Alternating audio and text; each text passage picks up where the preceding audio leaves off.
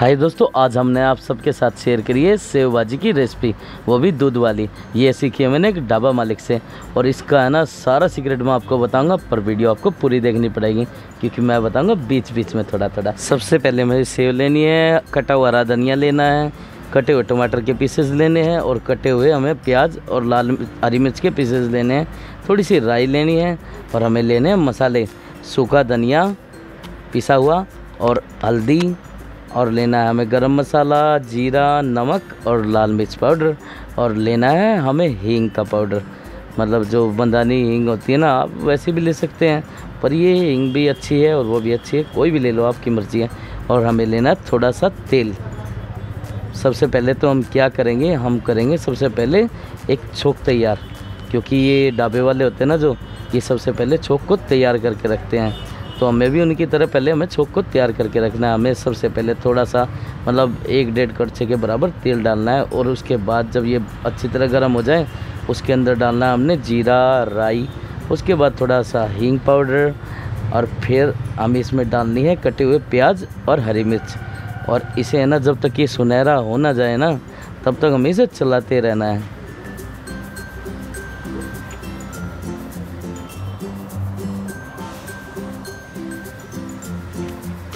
लो जी, हो गया ये सुनहरा। आप देख सकते हैं।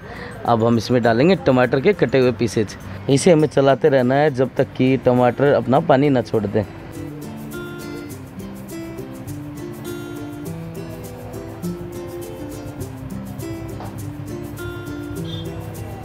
अब इसमें डालेंगे हम मसाले। सबसे पहले हम डालेंगे लाल मिर्च पाउडर, डेढ़ चम्मच। गरम मसाला एक चम्मच। और इसमें डालेंगे हल्दी, एक बटा तीन चम्मच, और डालेंगे इसमें सूखा धनिया पिसा हुआ डेढ़ चम्मच, और इसमें डालेंगे हम डेढ़ चम्मच नमक। ध्यान रखिएगा आपको, नमक आपके स्वाद अनुसार डालना है, और लाल मिर्च आपको स्वाद अनुसार डालनी है। उसके बाद हम इसे अच्छी तरह से मिक्स कर देंगे, और हम इसमें डालेंगे थोड़ा सा पानी, ताकि ये थोड़ा गाढ़ा गाढ़ा चौक तैयार हो।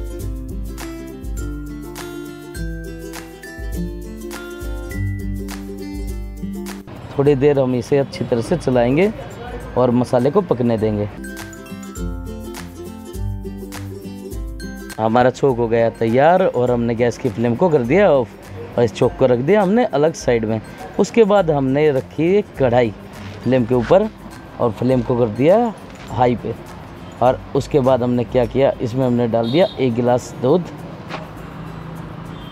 और जितना हमने दूध डाला ना, उतना ही हमने पानी डाल दिया। और इसे हाई फ्लेम पे हमने चलने दिया। जब ये अच्छी तरह से उबल जाए ना, उसके बाद इसमें हमने थोड़ी सी हल्दी डालनी है। हल्दी इसमें डाली है, थोड़ा सा कलर लाने के लिए। कलर छोक से भी आ जाता, पर जैसा ढाबा मालिक ने बताया, हमें तो वैसा ही करना है ना भाई? उसके बाद हमने इसे भाजी डाली, इसके अंदर दो कटोरी।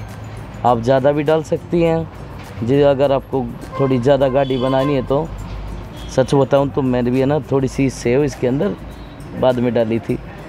पहले तो दो ही कटोरी डाली थी, पर मैंने देखा कि यार थोड़ी कम रह गई है तो मैंने थोड़ी इसमें अलग से डाली थी।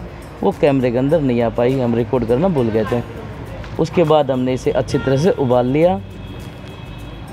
अब आप देख सकते हैं, बढ़िया पकाई होगी हमारी सेव की। अब इसमें हम वो छोक डालेंगे जो हमने पहले तैयार किया था।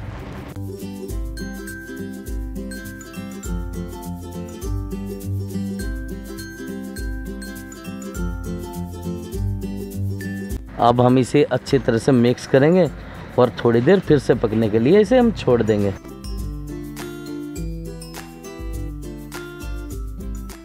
याद रखना आपको आपको इसे हाई फ्लेम पे ही पकाना है। जब ये अच्छी तरह से पक जाए ना तो हमें क्या करना है? गैस फ्लेम को ऑफ़ कर देना है।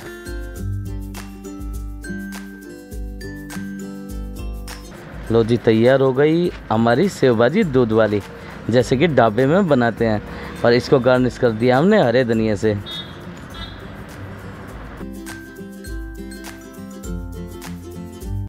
सच्ची बताऊँ तो ये रेसिपी है ना, मुझे जब मैंने पहली बार खाई ना, मुझे बहुत ही ज़्यादा अच्छी लगी। तभी मैंने सोच लिया था कि मैं इसे अपने व्यूअर्स के साथ शेयर करूँगा। आप सबको हमारी रेसिपी की वीडियो कैसी लगी? वीडियो अच्छी लगी हो तो लाइक करें और हमारे चैनल को सब्सक्राइब करें, क्योंकि हम ऐसी ऐसी नई नई रेसिपीज़ की वीडियो आप सबके लिए लाते रहते हैं।